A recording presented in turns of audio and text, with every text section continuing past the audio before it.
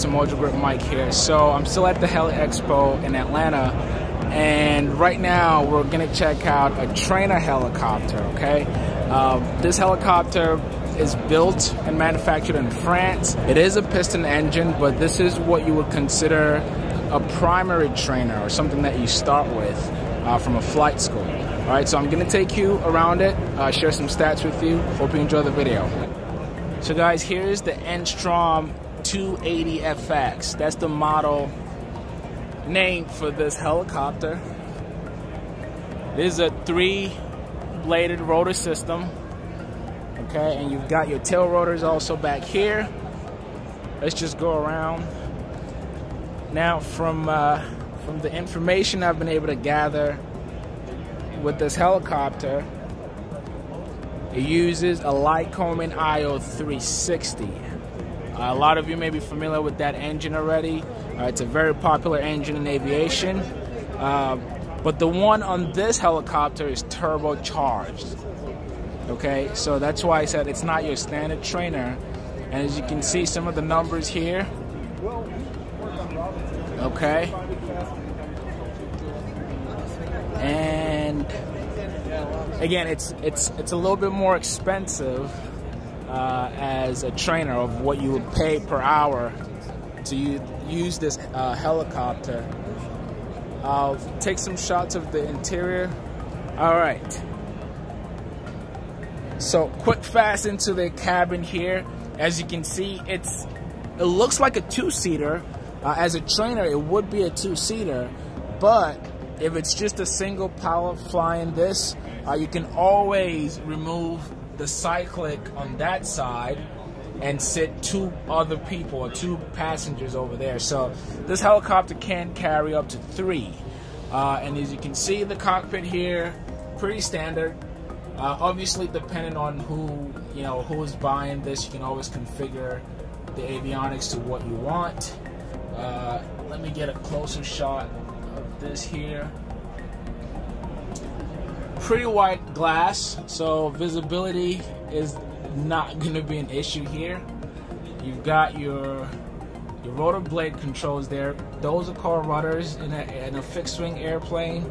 Uh, this is a helicopter. I'm still getting familiarized with all the uh, the terms. okay, your cyclics on both sides and your collective right here. Uh, again, pretty standard. Uh, typically, your trainer helicopters are about this big. This may be even wider in terms of the cabin space, honestly. Uh, I've seen a lot smaller uh, in a trainer helicopter. So, let's see what they have right in the middle here. That's another collective again. So, you've got one there, and you've got one here. So, for the instructor and the student.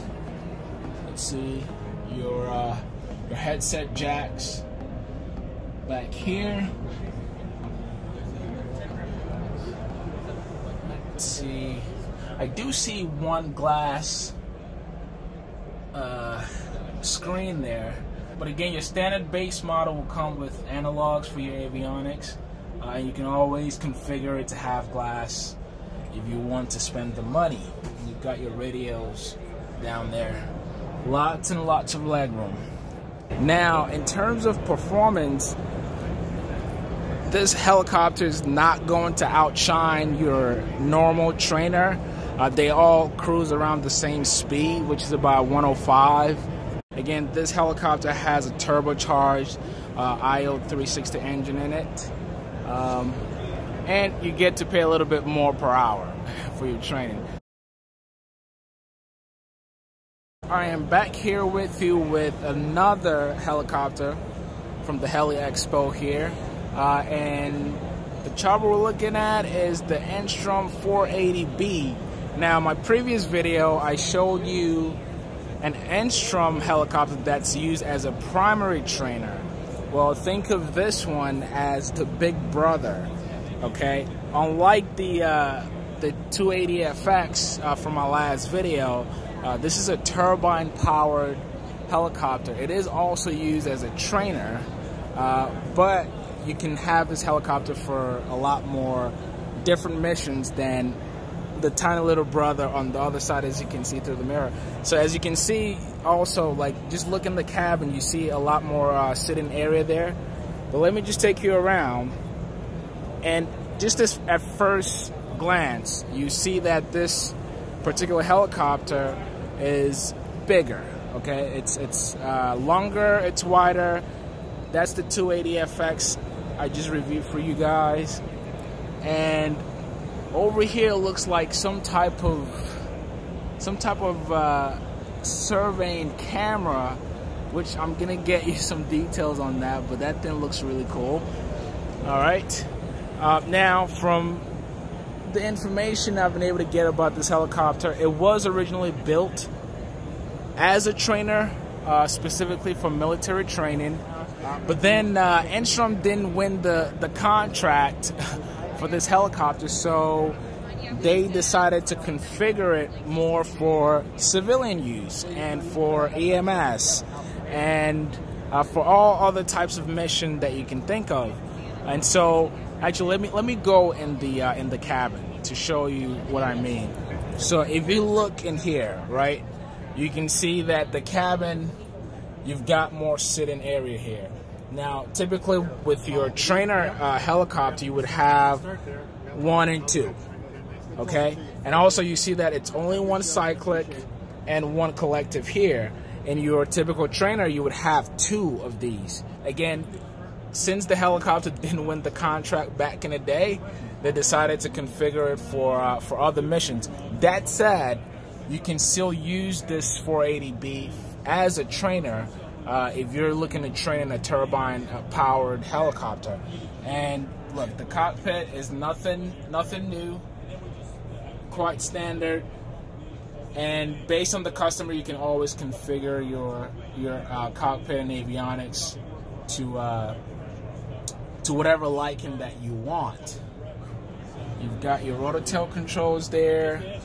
Uh, now, in terms of comfort, I can't get in this thing, but you can just again just use your eyes to gauge the space in here it is roomy but i'm sure you will have some uh, some uh, some challenges with the legroom depending on who's sitting back here uh, you can't sit up to three people in the back and two people up front so actually let me count the seats sorry one two so there's a seat right here one two three four I'm guessing you can probably sit three people here or you can use this additional room back here. But as it is configured right now, it's more like four people comfortably in here, but you can't fit up to five.